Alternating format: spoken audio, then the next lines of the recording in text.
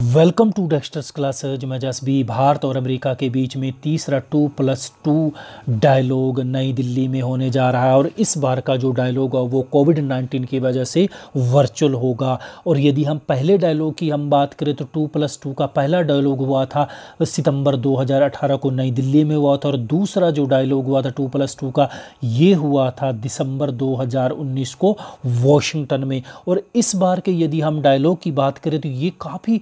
Important साबित होने वाला है। पहले के दो डायलॉग से काफ़ी ये डिफरेंस होगा, क्योंकि जहाँ एक तरफ़ भारत और चाइना के बीच में काफ़ी पिछले तीन महीने से स्टैंड ऑफ़ बना हुआ एल के ऊपर, दोनों के बीच में तनाव लगातार बढ़ता जा रहा है और वहीं दूसरी तरफ़ भारत और अमेरिका के बीच में लगातार डिफरेंस सॉरी डिफेंस कोऑपरेशन की हम बात करें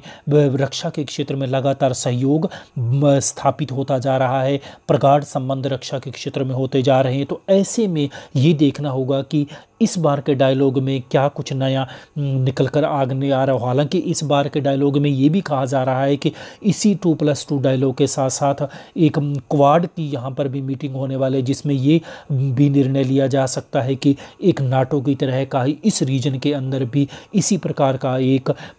संगठन बनाया जाए। तो आज के वीडियो में इसी के ऊपर बात करेंगे। बने रहेगा वीडियो में। वीडियो में आगे बढ़ें। उससे पहले निवेदन है कि यदि चैनल को सब्सक्राइब नहीं किया है तो चैनल को सब्सक्राइब कर लीजिएगा। अब पहले पहले हम बारे से बात कर लेते हैं कि ये जो टू प्लस टू डायलॉग हो क्या, है क्या? देखिए, ये जो टू प्लस टू डायलॉग है, यहाँ पर दोनों देशों के रक्षा मंत्री और विदेश मंत्री भाग लेते हैं। जैसे टू प्लस टू डायलॉग की हम बात करें तो भारत के जो विदेश मंत्री हैं एस जयशंकर जी और डिफेंस मिनिस्टर हैं जो राजनाथ सिंह जी, ये भाग लेंगे और वहीं दूसरी तरफ़ अमेरिका की तरफ़ से विदेश मंत्री जिनको अमेरिका में सेक्रेटरी ऑफ़ द स्टेट बोला जाता है, वो है माइक पॉम्पी और डिफेंस सेक्रेटरी है जो वहाँ के जो रक्षा मंत्री हैं जिसे वो है मार्क एस्पर तो उनकी तरफ़ से ये भाग लेंगे। और इसी प्रकार यदि हम बात करें कि पहले डायलॉग की हम बात करें तो जो दिल्ली में दो हज़ार अठारह के अंदर हुआ था। उस समय भारत के विदेश मंत्री स्वर्गीय सुषमा स्वराज ने और रक्षा मंत्री निर्मला सीतारमन की तरफ़, के द्वारा भाग लिया गया था। तो ये है टू प्लस टू डायलॉग। इसी प्रकार भारत जापान के साथ भी टू प्लस टू डायलॉग करता है। अब यदि हम बात करें इस बार के जो टू प्लस दो लोगों में क्या निर्णय लिया जाएगा भारत और अमेरिका के बीच में? देखिए, पहली बात तो है कि भारत और अमेरिका के बीच में लगातार डिफेंस के क्षेत्र में सहयोग बढ़ता जा रहा है। दोनों के बीच में जो मिलिट्री के क्षेत्र में जो आवश्यक सूचनाएँ होती है, तकनीक होती है, उनके आदान प्रदान के लिए काफ़ी ज़्यादा सहयोग बढ़ता जा रहा है। तो इस बार के यदि हम डायलॉग की बात करें तो इस प्रकार, इस बार के जो डायलॉग के अंदर basic exchange and cooperation agreement यानी कि बेका होगा होगा और ये एक ऐसा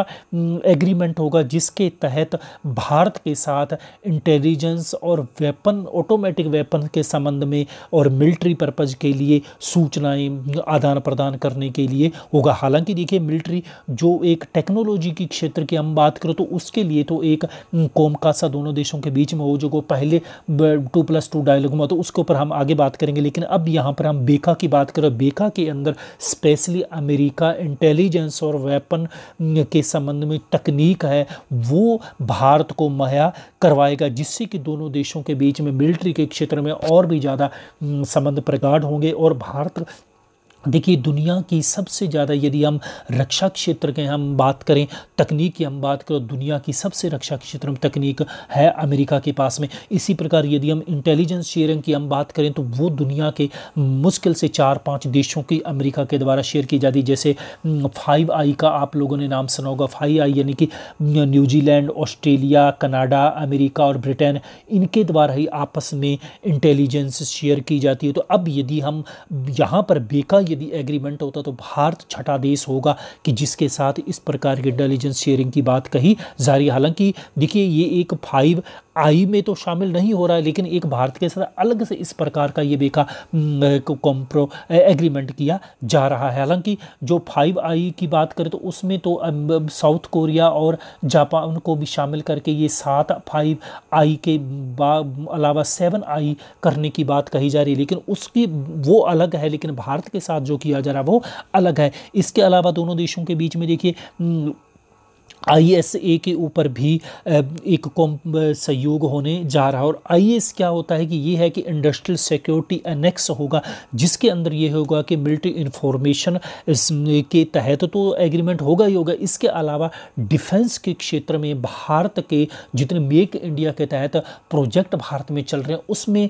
अमेरिका का भी साझी होगा। अमेरिका भी भारत के तहत संयुक्त उपक्रम स्थापित कर सकता आई के तहत। हालाँकि देखिए बेका की यदि और आईएससी की बात करें, इनके यदि हम ड्राफ्ट की हम बात करें तो बेका के ऊपर ड्राफ्ट मार्च 2020 में ही तैयार हो चुका है। लेकिन कोविड नाइन्टीन के तहत उसके ऊपर एग्रीमेंट नहीं हुआ था तो इस बार के इस वर्चुअल मीटिंग में ही इसके ऊपर एग्रीमेंट होने की संभावना है। इसके अलावा यदि हम बात करें कि ये डायलॉग काफ़ी डिफरेंस होगा ऊपर पहले जैसा कि हम बात कर चुके हैं, क्योंकि देखिए, एक एक तरफ़ तो यहाँ पर कोविड नाइन्टीन की वजह से पूरी दुनिया में आपको पता है कि पूरी दुनिया के अंदर एक कटा हुआ और पूरी दुनिया के बाद में अब वर्ल्ड ऑर्डर बहुत जल्द बदलने वाला है, क्योंकि जिस प्रकार से अब चाइना के खिलाफ पूरी दुनिया लामबंद बंद हो रही है और एक नए संगठन एक नया ऑर्डर डेवलप होने जा रहा है। साउथ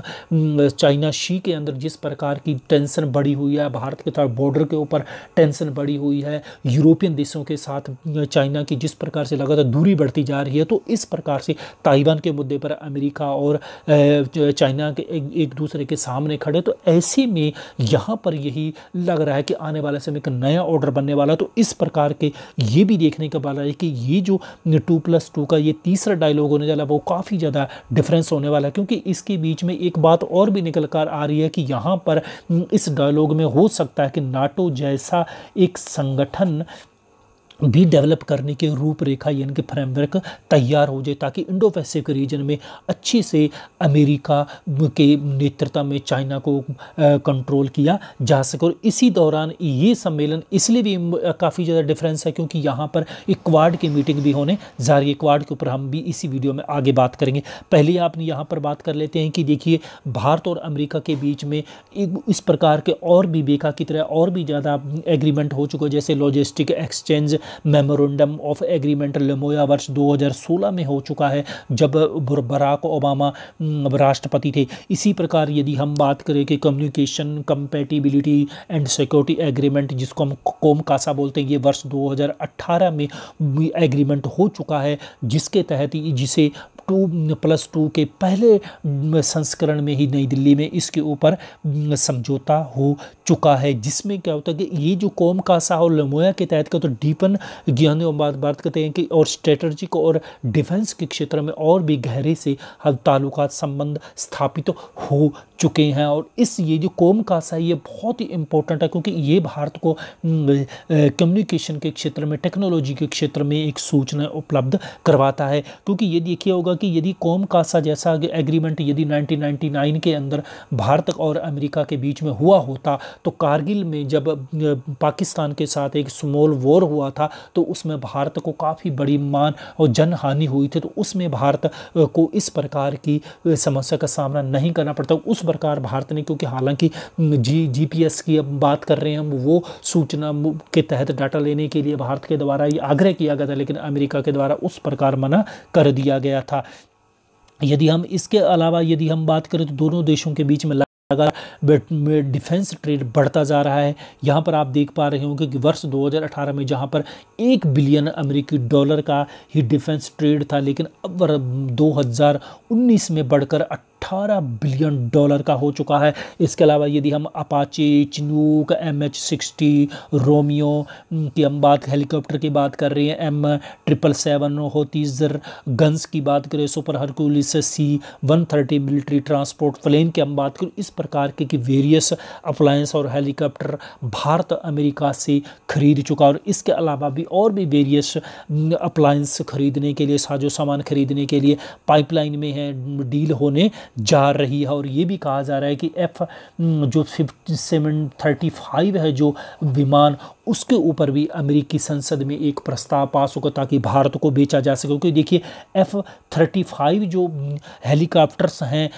सॉरी, ये जो विमान, लड़ाकू विमान है, ये आज तक भी अमेरिका ने किसी अन्य देश को नहीं दिया। लेकिन पहला देश भारत होगा जिसे ये दिए जाने का और बात कही जा रही है। हालाँकि सुखोई विमानों के लिए भी बात की जा रही है, सुखोई थर्टी बात की जा रही है रसिया से। लेकिन अब देखना ये होगा कि अब भारत किसको प्रायोरिटी देता है। इसके अलावा हम बात अभी बात कर रहे थे कि क्वाड की मीटिंगों की। देखिए क्वाड बहुत इंपॉर्टेंट है। यानी कि टू प्लस टू डायलॉग के साथ साथ क्वाड की मीटिंग भी होने जा रही है। देखिए क्वाड क्या होता है कि क्वाड चार देशों का एक एक डिफेंस इनफॉर्मल डायलॉग है या यूँ कहिए कि एक रक्षा पूरे को पूरे, या इंडो पैसिफिक रीजन में चाइना को कंटेन करने के लिए एक डिफेंस डायलॉग है, एक मीटिंग है। ये भी एक तरह का चार देशों की जिसमें हम बात कर लेते हैं कि वो चार देश हैं यूएसए जापान, ऑस्ट्रेलिया और इंडिया और इसको फॉर्मेट किया गया था वर्ष 2007 में और ये फॉर्मेट किया गया था जापान के तत्कालीन प्रधानमंत्री सिंजो अबे ने। इस प्रकार के जो ये फॉर्मल डायलॉग की बात करें, जिसको हम क्वाड इसको पुराना क्वाडिलेटरल सिक्योरिटी डायलॉग भी कहते हैं तो उसकी कल्पना की गई थी। उसके बाद ही वर्ष 2017 में जाकर इसको कम्प्लीटली एक्टिव किया गया है। तो अभी देखिए दो साथ से बात अपनी, यदि हम बात करें उस समय ज़्यादा, हालाँकि देखिए अमेरिका और जापान के द्वारा तो उस समय भी काफ़ी ज़्यादा ये एक्टिव करने की बात कही जा रही थी, लेकिन भारत और ऑस्ट्रेलिया थोड़ा सा पीछे हट होते फिर उसके बाद ये भी है, उस समय हमारे यहाँ पर भी एक स्ट्रॉन्ग को सरकार नहीं थी और मिली सरकार थी और उसमें इसके अलावा यदि हम ऑस्ट्रेलिया की बात करें तो ऑस्ट्रेलिया में उस प्रकार की जो सरकार थी, वो भी कम, टिल्ट था कम्प्लीटली अमेरिका की तरफ़ सॉरी चाइना की तरफ़ तो इस वजह से इस प्रकार के डायलॉग नहीं हो पा रहा था इसके ऊपर लेकिन वर्ष 2017 में इसको कम्प्लीटली एक्टिव कर दिया गया है। और इसके अलावा हम पहले बात कर रहे हैं कि इसके अलावा भी इस डायलॉग में, दिल्ली के अंदर जो टू प्लस टू और क्वाड की जो मीटिंग होगी इसके अंदर ये भी कोशिश की जा रही है कि इन्हीं चारों देशों को मिलाकर एक नाटो की तरह का एक और अलायंस बनाया जा सके ताकि पूरे के पूरे इंडो पैसिफिक रीजन में एक अन्य छोटे छोटे देशों की रक्षा के लिए इस प्रकार का मिलिट्री अलायंस बनाया जा सके। तो आने वाले समय में फ्रेंड्स जब ये मीटिंग होगी तो ये उस समय ही देख पाएँगे कि क्या क्या निर्णय होंगे। तो उसके ऊपर हम एक अलग से और वीडियो ले आएँगे। उम्मीद है कि वीडियो पसंद है पसंद है तो लाइक कीजिएगा शेयर कीजिएगा और चैनल को सब्सक्राइब नहीं किया तो चैनल को सब्सक्राइब करके इस चैनल को आगे बढ़ाने में सहयोग कीजिएगा। मिलता हूँ इसी प्रकार को वीडियो के साथ। वीडियो सुनने के लिए बहुत बहुत धन्यवाद।